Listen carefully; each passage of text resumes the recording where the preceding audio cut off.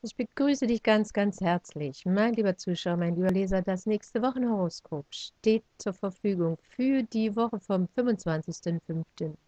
bis zum 31.05.2020. Ja, und damit sind wir auch schon in der letzten Woche des Monats Mai, wie die Zeit doch vergeht. Der Spruch der Woche lautet, Merkur wechselt das Zeichen. In Liebesdingen ist es weiter unklar und wir bekommen wieder den himmlischen Schutz. Ja, mein lieber Zuschauer, mein lieber Leser, in dieser Woche behält unsere Sonne, der Persönlichkeitskern, in den Zwillingen erstmal seine positiven Verbindungen zu Saturn, unserem rückläufigen Hüter und Begrenzer im Wassermann, noch bis zum 29.05. bei. Das unterstützt auch in dieser Woche noch alle Aktivitäten, die gut geplant und organisiert sind. Auch wenn so manche Einschränkungen es etwas beschwerlicher machen werden, kann man sich doch äh, so mit den Gegebenheiten ganz gut arrangieren. Also mit Vorgesetzten oder auch anderen wichtigen Autoritätspersonen ist jetzt momentan auch ein relativ günstiges Klima zu erwarten. Und wir haben ja natürlich mit dem rückläufigen äh, Saturn immer so das Thema, dass man sich nicht unbedingt mit äh, Behörden oder mit Machtinstitutionen jetzt äh, überwerfen sollte oder dort irgendwas äh, Wichtiges äh, herausfordern sollte. Rückläufig heißt, es kommt auf uns zurück oder es wird nochmal nachbearbeitet. Aber da kann man natürlich nochmal tiefer reingehen. Jetzt geht es erstmal weiter. Es gibt also hier wichtige Themen zu klären, gerade in dieser Phase. Also kann man natürlich dann auch auf längere Zeit ein wichtiges Thema wirklich gut klären. Allerdings mischt hier wieder unser Energieplanet Mars jetzt mit. Er steht also in dieser Woche in den Fischen noch weiterhin quer zur Sonne in den Zwillingen. Die Energie ist also oft jetzt auch nicht so abrufbar, wie wir uns das vielleicht wünschen würden, weil sie versickert, äh, weil ja der Mars in den Fischen nicht unbedingt sich so wohl fühlt, ja, Feuer und Wasser. Das richtet sich jetzt eher die Energie mehr in, auf innere Prozesse, was natürlich auch wieder passt zu unserer heutigen Zeit. Und was ich da in der letzten Woche schon dazu erklärt habe, das bleibt natürlich auch an der Stelle jetzt noch weiter aktuell. So, der Merkur, unser Denker und Planer, der steht jetzt auch noch bis Mittwoch, dem 27.05. in einem spannungsreichen Winkel zu Neptun, unserem Verschleierer in den sensiblen Fischen. Damit sind natürlich die Denkprozesse etwas äh, unklar oder ausschweifend oder man hat das Gefühl, man kann sich nicht wirklich konzentrieren. Es ist eine schwierige Phase, den Geist auch wirklich äh, mit klaren Gedanken, also auf ein Ziel auszurichten. Und solche Spannungen, die beinhalten natürlich auch oft ähm, Unehrlichkeiten, List, Intrigen, so Hinterhältigkeiten, Betrügereien. Man muss schauen, wie es den Einzelnen persönlich ähm, da betrifft und wie, das, wie, wie diese Aspekte im eigenen Persönlichkeitshoroskop platziert sind zu den eigenen ähm, Energiefeldern. Wer dann natürlich mehr erfahren möchte, kann das wieder ganz einfach bei mir unter www.barbel-reu.com ein Beratungspaket buchen, unter Menüpunkt Beratungspaket buchen oder mich auch per E-Mail anschreiben. Meine Kontaktdaten sind ja immer hier unten auf der Seite zu finden, sowohl in YouTube als auch auf meiner Webseite. Also wichtig ist jetzt erstmal auch sehr achtsam zu bleiben bei allem, was jetzt gesagt wird oder versprochen wird oder was man einem so an Informationen einflattert. Betrifft sowohl die, das persönliche Umfeld als auch natürlich die gesellschaftlichen Geschicke, mit denen wir natürlich alle irgendwo konfrontiert sind. Zwillinge, das Herrschaftszeichen von Merkur, ist ja der Schirmherr aller Medien, aller Kommunikationskanäle schlechthin. Und also ist es hier ganz günstig, richtig drauf zu achten, was denn so verkündet wird und wie viel Wahrheitsgehalt dahinter dann wirklich steckt. Man muss immer mit sich selbst in Kontakt treten, sagen, ist das für mich stimmig? Passt das? Passt das zu mir? Dazu hatte ich natürlich in der letzten Woche auch schon so einiges erklärt, einfach auch nochmal reinschauen. Ja, nun wechselt dann unser Denker und Planer am Donnerstag, dem 28.05. um 19.10 Uhr in das Sternzeichen Krebs. Ab diesem Zeitpunkt ändert sich dann das äh, Gedankengrundmuster. richtig doll stark. Also die Energie wird eine völlig andere. Und zwar ist ja der Merkur im Krebs ähm, jetzt nun im Wasserzeichen. Gedanken, ist Luft- und äh, Wasserkombination. Jetzt wird eher mit dem Bauch gedacht. Aber Krebs ja nun sehr eng mit, mit ähm, Körpergefühlen, überhaupt mit Emotionen verbunden sind. Und natürlich können jetzt auch Gedanken oder Gedankenkonstrukte richtig in die Magengrube gehen. Also ist es hier sehr angebracht, ähm, Herr seiner Gedanken zu, zu werden oder zu sein. Ähm, Sie wirken hier auch natürlich viel, viel stärker auf das äh, körperliche Wohlbefinden. Generell ist allerdings hier auch ein sehr gutes Gedächtnis zu finden. Bei Merkur, Krebsmerkur-Menschen, die können sich an Dinge erinnern, da staunt man nur. Also hier ist es äh, ganz interessant, ähm, das einfach auch mal auf sich wirken zu lassen, weil so ein Krebsmerkur ganz gut hinter die Kulissen schauen kann zulassen, was da kommen möchte und natürlich sich immer selbst abfragen, weil ja diese Merkur-Energie mit den Neptun-Energien noch verbunden ist, ähm, was kann stimmig sein und was nicht.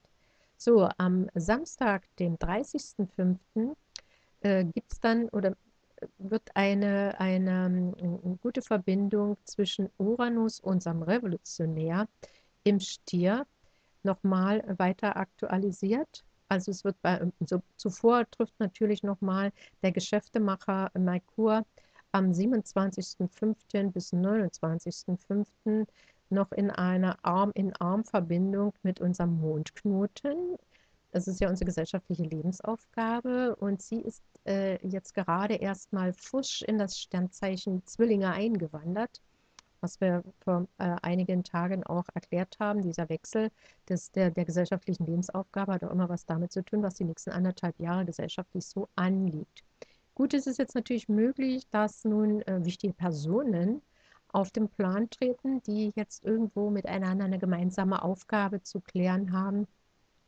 Und man hat irgendwie ähm, das Gefühl, dass äh, ähm, ja, man sich vielleicht schon ewig kennt, dass da irgendwo eine Seelenenergie miteinander ausgetauscht wird, die, die einen sofort äh, anspricht. Man sagt, mein Gott, das ist der Mensch, mit dem ich das, äh, die wichtigen Dinge in meinem Leben tun möchte.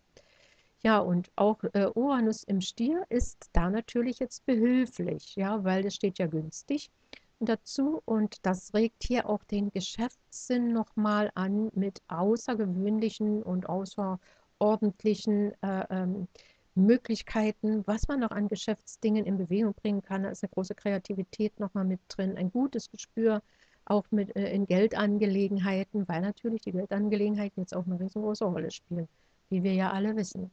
Also jetzt haben wir dann noch äh, so eine Hürde mit unserem rückläufigen äh, Liebesplaneten der Venus im Gepäck.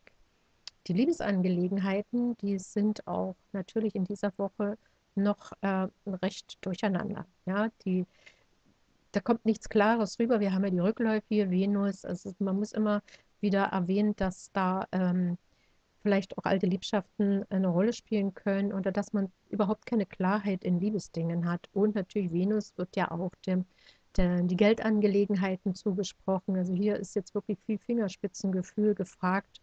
Ähm, und man sollte genau aufpassen, äh, wie die Gelder investiert werden oder was man ähm, selbst für sich gerne in Anspruch nehmen möchte.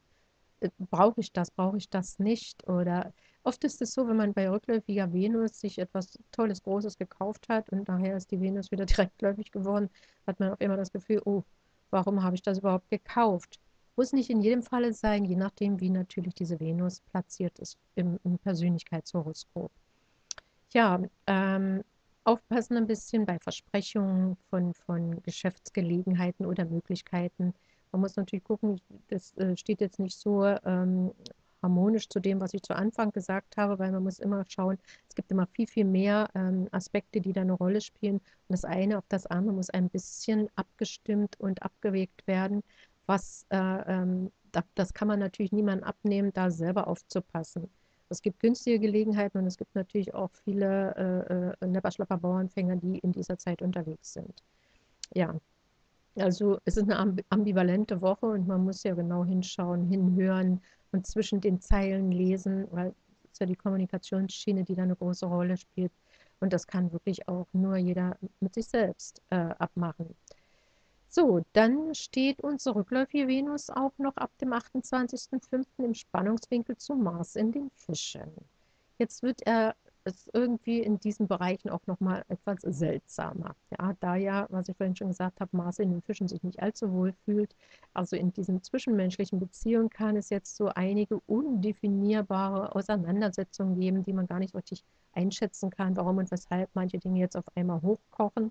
Ein unterschwellige ähm, Dominanzstreben könnte da auch eine Rolle spielen, gerade in Liebesdingen. Und vielleicht sind da auch ähm, Entzweiungen äh, im, im, Gange, wo man einfach ähm, auch die Zeit für sich arbeiten lassen muss, weil da gar keine Klarheit momentan äh, zu ersehen ist. Geben und Nehmen spielt ja auch nochmal eine wichtige Rolle. Auch sexuelle Ausschweifungen können da natürlich mit äh, äh im Spiele sein. Rückläufige Venus bringt ähm, was ich vorhin schon mal kurz erwähnt habe, auch so äh, alte Liebschaften vielleicht zurück oder Erfahrungen, die, ähm, mit denen man Kontakt hatte, etwas, was aufgearbeitet werden möchte, mit dem man auf einmal wieder konfrontiert wird. Aber wenn das durchgearbeitet ist, dann kann man das in dieser Zeit auch abschließen. Wenn man neue Lieb äh, neue, eine neue Liebe ähm, sozusagen jetzt beginnt oder jemand kennenlernt in der Zeit, ist es auch immer eine Zeit, wo man wirklich abwägen sollte, wie weit lasse ich mich darauf ein.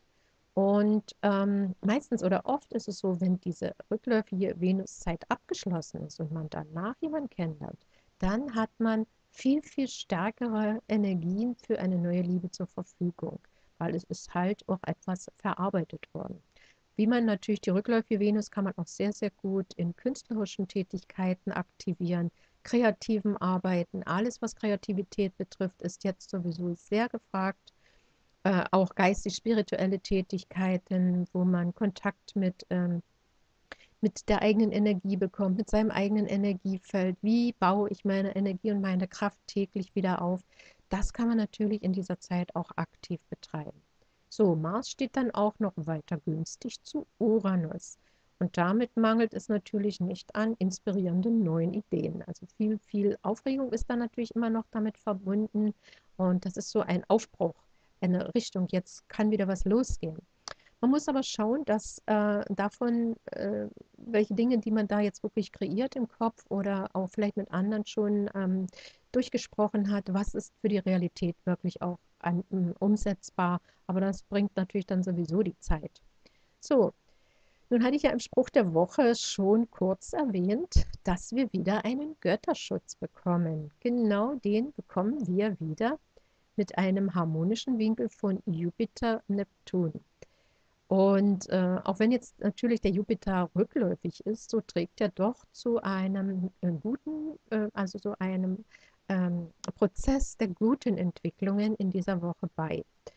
Es ist mehr die kleine, äh, das kleine Glück, sagt man so schön, und die kleinen Erweiterungen. Und wenn wir jetzt nicht zu viel Erwartungen produzieren, dann ist natürlich dort auch ähm, einiges möglich und steht trotz aller Ungereimtheiten und äh, vielleicht auch aufregenden Ereignissen, die da so äh, uns in der Woche eventuell ins Haus schneiden können. Doch, es steht uns eine gute Woche bevor. Und das ist das, was ich gerne auch ähm, weitergeben möchte. Und bleibt in eurer inneren Kraft, weil das ist das Beste, was man in dieser Zeit, in der wir jetzt gerade sind, auch tun kann.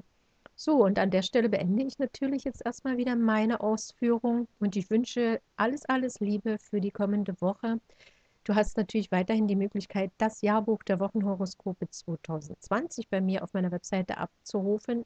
Da sind ähm, die Coverfotos und wenn du da draufklickst, kommst du direkt zu meinem Buch. Auch jetzt kann man noch in dem äh, zweiten Halbjahr sehr, sehr gut mit den Sternen planen, weil da ist einiges enthalten an Informationen, die dir vielleicht helfen können, eine, die Zeit ganz gut ähm, or zu organisieren, auch wenn es manchmal schwierig ist. Das Beratungspaket kannst du auch buchen bei mir unter Beratungspaket buchen auf meiner Webseite einfach zu finden im Menüpunkt.